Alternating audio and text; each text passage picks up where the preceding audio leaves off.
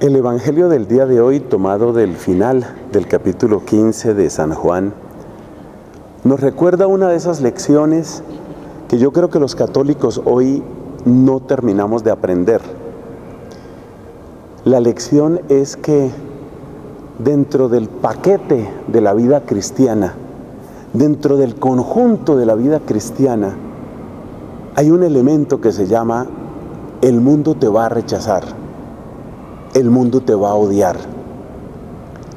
Y ese es un elemento, ese es un factor que nosotros, supongo que le sucede a muchos otros cristianos, pero también a nosotros cristianos católicos, ese es un elemento que no queremos aprender.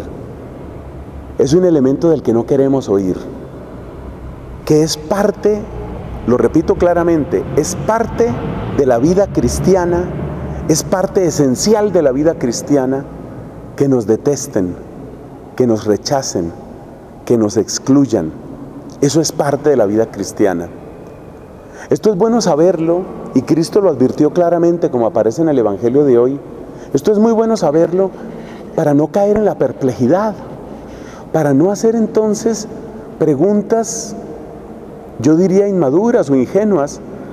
Preguntarnos, por ejemplo, pero ¿Y por qué sucede esto? Si yo no le hago mal a nadie. Y no nos damos cuenta que la razón principal por la que nos odian no es por el mal que hayamos hecho, ni por el bien que probablemente hagamos, sino porque somos de Cristo. Y Cristo es detestable, es detestable y es aborrecido y aborrecible para el mundo entendiendo aquí por mundo el tejido de complicidades de todo género que existen en esta tierra y que mantienen a los ídolos firmemente puestos en su sitio. Ese es el problema. El problema con Cristo, lo que hace que Cristo sea odiado de un modo descomunal, es porque Cristo derriba los ídolos de este mundo. Entonces, los negocios, los negocios turbios, que son tantos, los muchos negocios turbios, tendrán que ver en el mensaje cristiano una oposición frontal. Tendrán que ver en el mensaje cristiano un enemigo a muerte. Y por eso tienen que oponerse al mensaje cristiano. No, no hay alternativa, realmente no hay alternativa para los poderes de este mundo. Es lo único que pueden hacer si no se mueven de su lógica. Moverse de su lógica significa convertirse. Entonces, el odio a Cristo es algo que nosotros no podemos cambiar.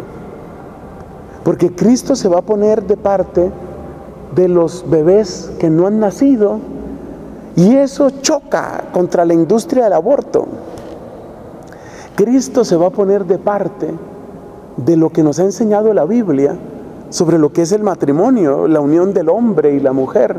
Y eso va a chocar con los que tienen intereses políticos, con los que tienen una tremenda capacidad de capitalizar la moda del momento y presentarse como supuestos embajadores o representantes de la comunidad LGBT, pues obviamente para esas personas, para esas personas, el mensaje cristiano es insoportable, porque va en contra de toda una industria y de todo un tejido de intereses políticos. Entonces cuando uno se declara de Cristo, uno se pone del lado de lo que es detestable para todas esas maquinaciones. Cada vez parece que son más los que tienen que vernos como enemigos, porque vivimos en un tiempo de rabiosa instauración o reinstauración de idolatrías por todas partes. ¿Qué es esto, por ejemplo, de la legalización del consumo de droga, legalización de la marihuana, por ejemplo, a gran escala? ¿Qué es eso? Esa es una ofensa a la dignidad de la persona humana, además de muchos otros males neurológicos, sociales, familiares, es una ofensa a la dignidad de la persona humana. Jamás un cristiano puede estar de acuerdo con eso. Pero ahora y dentro de muy poco las cosas serán peores, Si no estás de acuerdo con algo como eso, es que eres retrógrado y te van a odiar. Así que piénsalo bien. Si eres cristiano, por favor toma conciencia. Toma plena conciencia. Por el hecho de ser de Cristo, ya vas a ser detestable. A ver, lo repito. Por el hecho de ser de Cristo, ya eres detestable para mucha gente. Aprende a vivir con eso. Aprende a no detenerte por eso. Aprende a dar testimonio de tu fe más allá de eso. ¿De acuerdo? Que Dios te bendiga.